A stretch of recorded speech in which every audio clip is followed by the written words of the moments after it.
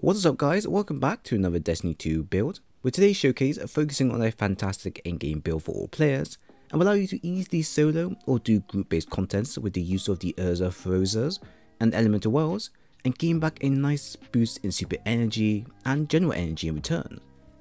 I've noticed that a lot of new players entering endgame won't have the necessary mods such as Charge with Lights or Warmind Cells to happily complete the difficult content, and be rewarded with high endgame gear.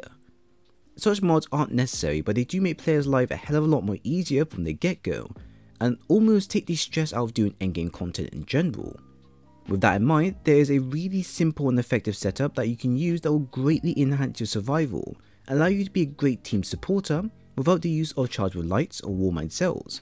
And all you really need is the Ursa Furiosa exotics, military Void Titan, and perhaps some elemental wells in the mix as well. What I am going to show you is a fantastic build that you can pick up and use for whatever tough content in mind, and be rewarded for greatly supporting your team as well.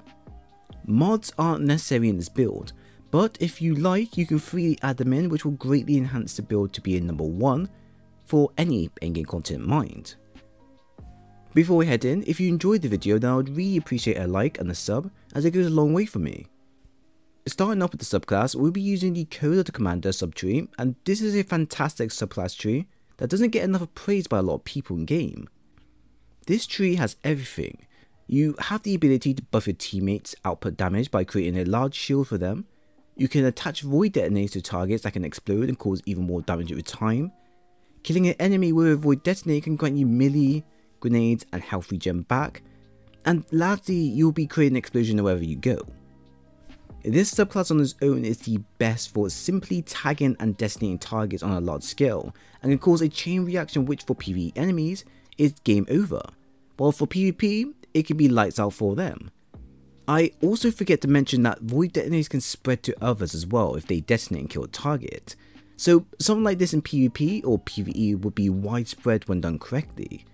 Now when you attach the exotic Ursa Furiosas to the subclass, your shielding ability becomes even more powerful with a boost to movement speed, and also, most importantly, any damage guarded by you from the super gets converted back to super energy for you at the end, and this is important if you wish to use your super back to back.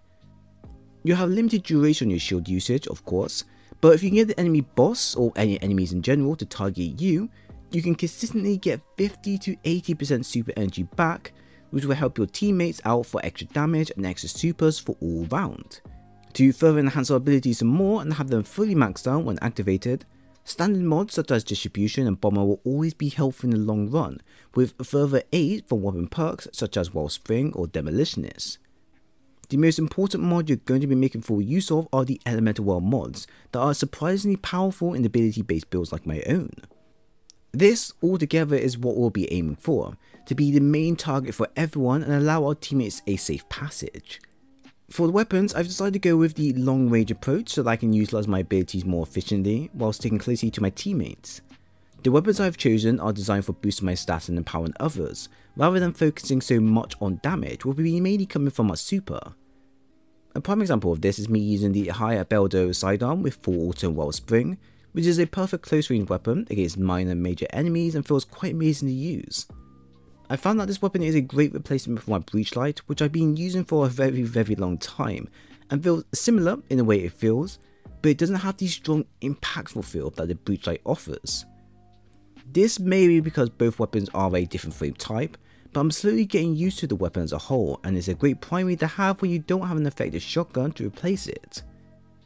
It doesn't roll with damaging perks sadly except for high impact reserves, so if you were expecting to get Kill Clip or Rampage, then you're out of luck. For our secondary, I'm using the new bow called the Imperial Needle with Killing Wind and Fresh, and surprisingly it's quite good for the build I was going for. Killing Wind on the weapon is a great perk to have for any weapon in general, as it's giving you a boost in handling, movement and weapon range, which makes it perfect for a bow with the way it's designed. And then we have Fresh, that will be giving you extra super energy upon kills. And this perk when combined with our exotic and elemental armaments, and Font of Wisdom mod basically means that we have a consistent route of gaining super energy all the time. And I kid you not, this combo will allow you to be the first person in your team to gain a super within the first few minutes of starting. Damage from the weapon isn't the greatest considering it is a lightweight frame, but we can use the Font of Might mod to get a boost in damage, or alternatively get a roll with the frenzy perk that will always be active and provide you a 20% boost in damage. Now one tip to be aware of is that the bow is void which matches my subclass and will also activate the elemental armors mod as well, which is required if you want a way to produce wells at your disposal. For heavy, I've chosen to use the Code Duello rocket launcher with quick draw and cluster bombs, and this will be handy for increased DPS and using in bosses. As I've mentioned before, rocket launchers have gotten a 30% buff and now is a great time to fully use them for the max potential against bosses, or generally anything. The rocket launcher sticks with the theme of the build of using it long distance to our advantage, and the amount of damage we do is quite noticeable compared to before. Swords are still kings in terms of quicker DPS, but rockets now, especially the ones that roll with lasting impressions, are the new key weapons that many players are now opting in to bring in into Nightfalls and raids. For the stats, your two main areas of focus this time around will be the discipline and intellect area, and both these two stats can be immensely improved on without the need to heavily invest in them, if you have the right perks and mods to assist you of course. For example, for the discipline stat at 70, we don't have the demolitions perk to aid us in faster regeneration this time round, which means we can invest our stat elsewhere. This isn't so much of a problem though, as our subclass has the ability called Resupply, which allows us to regain health, mainly including energy back, upon Void Detonator's explosions.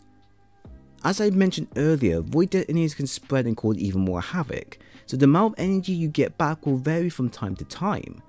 But we can further supplement this ability with the Bomber and Distribution mod, and also Wellspring perk from our main primary. These mods with the 70 discipline cooldown should be enough for you to instantly get your grenades back as if you had the Demolition perk active, and will be the most invested stat area for the entire build. We then have the intellect area, and that forward to you're probably thinking how this stat will make a difference in changing up the build. Now when building up a super, we don't have mods such as Dynamo to help with super cooldown, and the exotic only gives us back super energy depending on how much damage has been done to our shields. To fix this area, our bow has the fresh perk that will provide a chunk of super energy back to user upon final blow kills, which should be very often against minor enemies. But at the same time, the elemental well called of Might will provide you a 50% faster super cooldown upon picking up an elemental well. And this here is how your cooldown will increase drastically. Our cooldown for this stat will go from a 40 to 90, which is a 3 minute 52 second cooldown instead of a 4 minute 45 cooldown at 40. You don't need anything else more from here unless you want to create orbs of power that could also further help. But these two methods here should be enough for you to easily build your super up from the get-go, and then have a consistently high cooldown throughout your play. The rest of your stats should be at standard 50 to 60 in recovery and resilience, and then everything else being whatever you like. Of course, if you prefer more melee over discipline or if you want to balance the two stats out, then it's recommended you do so as the build does utilize melee as well. Now onto the main topic at hand, here are the mods that we're currently using and how they best play out. For head, we have Discipline in Font of Might mod. Army of Resilience, Fastball, Overload Bow, and Elemental Ordnance mod. Chest, we have Discipline, Concussive Dampener times 2, and Font of Wisdom mod. Leg, we have Maya Discipline, Absolution, Better Already, and Elemental Armaments mod. And Mark, we have Recovery, Distribution, and Bomber mod. There have been a lot of talk from players from all walks of life when using the Elemental Well mods, and many of them don't enjoy the benefits the mod can provide when comboed correctly. I believe this is one of the main issues that players are trying to build around. The War mods aren't the strongest compared to using the Charge Light mods or the Warmind Cell mods, who have better lasting effects for the whole duration of a mission. But the Well mods can offer some great synergy if you plan to stick with a specific role in games such as I have, or if you plan to use just light based builds. With the build I have, I can easily do endgame Nightfalls, Legends to Grandmaster and constantly have a super up with 80% free super energy back upon soaking up damage with it, and also drop wells that can boost my and my other teammates' abilities, etc. if picked up by them. And we also get a further boost in abilities in area control, thanks to the Void Detonators, which can bring in some extra damage when needed. On top of that, the build also acts as a support role with the way the subclass functions, as you can protect, buff, heal, and provide constant ability regen as long as they all stay nearby you. the build alone can do some impressive work and added in the well mod can just further enhance the build even more. Here's an example. I have two ways of making wells with my gear, one of them being through the grenades thanks to the elemental ordnance mod, and the other through weapon kills thanks to the elemental armaments mod. Both of these two will be used constantly throughout the build, so you're going to be always be creating wells for yourself and your teammates, and this can help when playing safe as ability energy can be rotated to everyone, with everyone putting their own feed into it. With that, we then have two other mods that will benefit greatly from the wells, and this is the Font of Might that will provide you with a 10% boost in damage which is great for quick burst damage, but only lasts for 5 seconds. And then we have the Font of Wisdom mod that will provide roughly 50% intellect to our own and increase our cooldown rapidly, and thus make building up supers quickly. From this build alone, you now have the ability to get a boost in damage for yourself and for your allies via exotic, faster super cooldown than ever before, consistent source of wells for all, perfect crowd control options, constantly rotating ability energy for all, and finally, a tanky build for endgame content. The build is like I mentioned throughout, a beast in endgame content such as Nightfall Ordeals, Legend Lost Sectors, Dungeons, Gambit boss phases, or Grandmaster Nightfalls, and will seriously be a big hand for those that want to do the content flawlessly with a team that knows exactly what they're doing. It does what it's designed to do fantastically and honestly is a great addition to all the Titan builds that we have currently for the tougher content. Half the things I've mentioned aren't even needed because of how well the build is designed around just limited selection of tools to use. But my final input before I finish is to not sleep on the Elemental Well mods if you are a light user, as they provide some benefits that are much better compared to Charge Light and Warmind Cells, which at the current moment are limited for a few.